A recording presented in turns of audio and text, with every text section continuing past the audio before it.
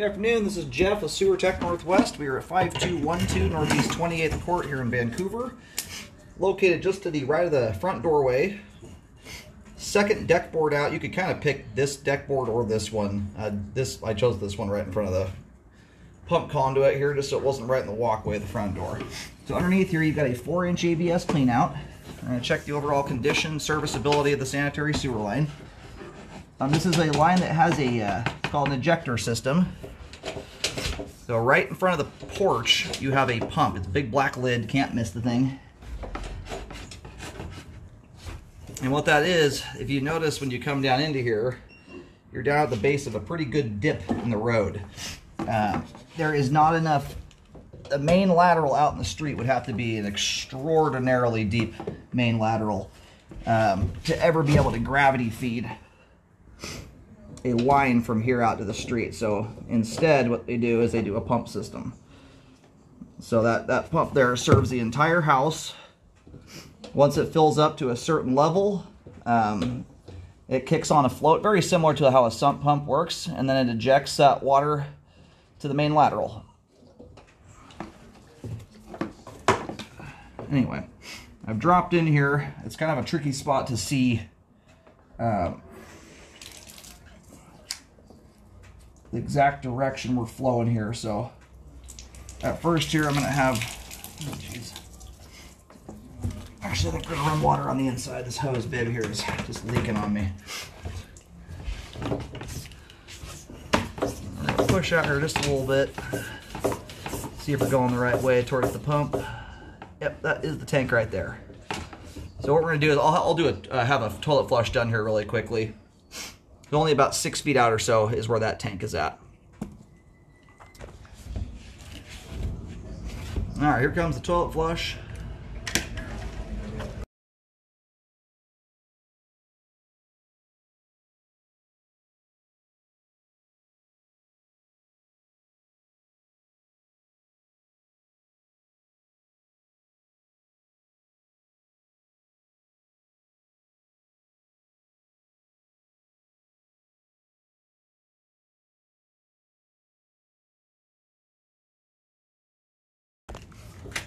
Right, that's the toilet flush there shooting past the camera. Anyway, that's the inner workings of the pump there.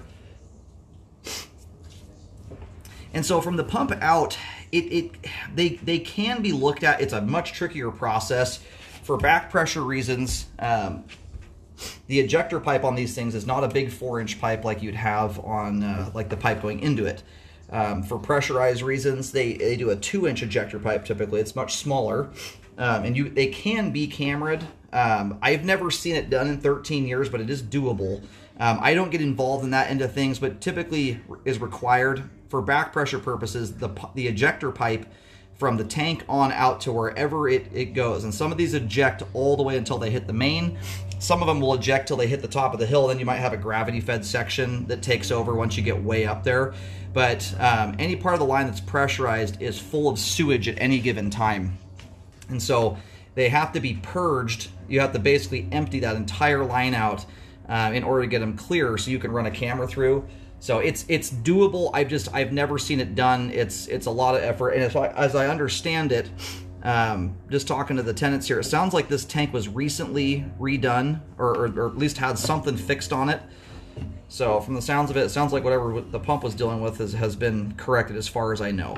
But that's, you know, from that point forward, that's where I generally recommend you talk to a plumber. I mostly deal with the, uh, the gravity fed part of the line leading up to that point. Anyway, and it, and it looks like you've got a little bit of debris at the top of the pipe there. From what I understand, it sounds like the tank did have some kind of issue at some point recently, so that would explain why there's deposits up there at the top of the pipe. A blockage happened, or uh, not necessarily a blockage, but the uh, the tank probably wasn't functioning, which allowed the tank to overload and fill up. And if that ever does happen, I'll show you here in just a second.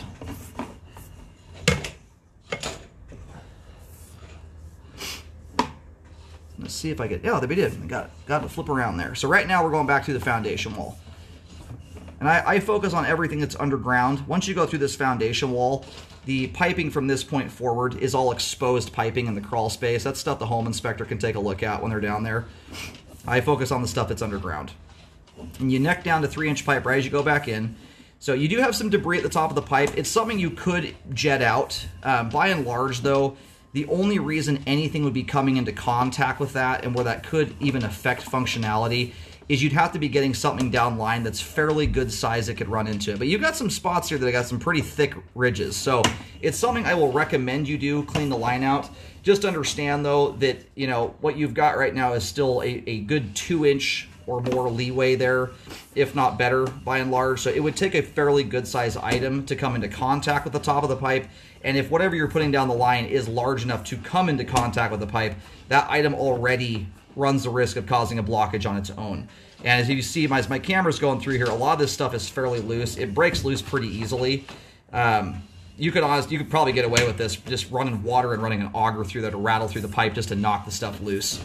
Um, and then it would flush out into the tank and off it goes. So anyway, the line itself there looks great. You do have some buildup. I'll recommend that be cleaned. But that that's that's uh, in, the, in the world of sewer stuff, cleaning the line out like that's pretty small potatoes. And by and large, that debris there should not be affecting functionality, not unless you're putting large, large size items down the line. But it would not be a bad idea to get that cleared out of there. So if you if you go through the effort of cleaning the line, I would always recommend you rescope it just to show that the work was done. Um, but all the pipe itself here, all that is in good condition, has good flow. Uh, you know, and, and by and large, it has good flow. I can't say it's it's it's 100% perfect flow because you do have some buildup there. The good thing is though, it's all at the top of the pipe, not in the flow line. If you're gonna have buildup in your sewer line, that's where you want it to be. So lines functioning at this time, you'll have improved functionality. You'll more so help mitigate any blockage risk. Um, especially if you have little kids in the house flushing large you know items down the line, large balls of toilet paper, stuff like that. That's mostly where that buildup can ever ever cause any kind of issues. Now, if you have that buildup, that same level of buildup in the flow line, it would be a very very different story. My tune on that would be very different. I would be highly recommending you clean the line out. So it's still a worthwhile thing to do. You're just not going to get as much benefit out of it as if you uh, were uh, cleaning out the flow line area. And then as far as the tank goes, um, I have heard that pump turn on already and eject. So from that standpoint, the pump appears to be functioning. It would be worthwhile to get a little bit of uh, info on what was repaired on that pump. I don't know if the pump itself was replaced, uh, but as it relates to that, when you have a whole home ejector system, this, these, these obviously get used very frequently. And be, before I get off on that tangent, this right here is your sewer, this is the ejector alarm system. If that pump fails, as long as this is all put together properly, if that thing overloads, that alarm will go off. It's very, very loud. I mean, it's like louder than a fire alarm. It's very high pitched usually. If you hear that, you want to make sure you stop running any water at that point in time so you don't run the risk of overloading the tank and backing up into the house. And that's where you want to call the plumber to come out here. Uh, but as it, as it relates to these ejector systems, a lot of people have them in basements for basement bathrooms. You know, the guests use once in a while.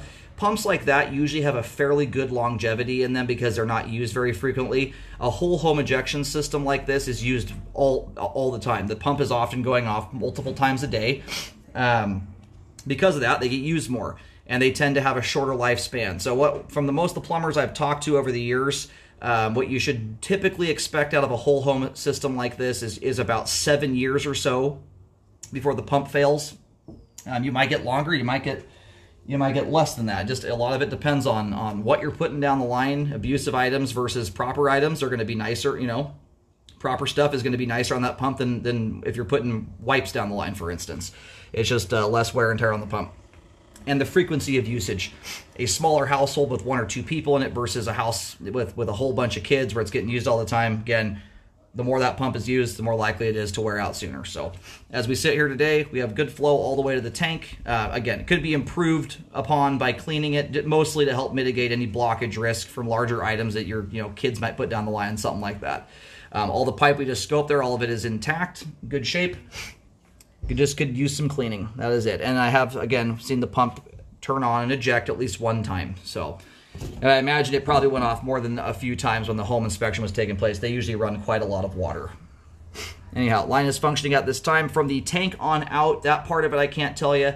The uh, the nice thing about pumps, not they they don't have you know similar issues as your average gravity fed sewer line things like roots can still affect them but a lot of gradation issues like bellies in the line things like that don't affect these in the same manner because they're intended that ejector part of the line is intended to have water in it all the time um, so it, it's you, you have a little less finickiness um, on that end of things because everything's being forced through there with a with a rather powerful pump um, so and a lot of these i don't know what style of pump was put in um, generally, the company that I hear that makes the best one, I, I, I, don't have one myself, but every plumber I've talked to always says to try and install a Zoeller. Um, they, they are a specifically made pump just for sewage ejection. Some companies use modified boat pumps, uh, but a lot of these have a grinder system in them. So whatever's going down line, a lot of them have a grinder that actually blends everything up into a slurry. Um, so they they you know they can handle abusive items. You want to try not to do that, but they do have that that in place there to help bust stuff up into fine pieces so it gets blasted out properly.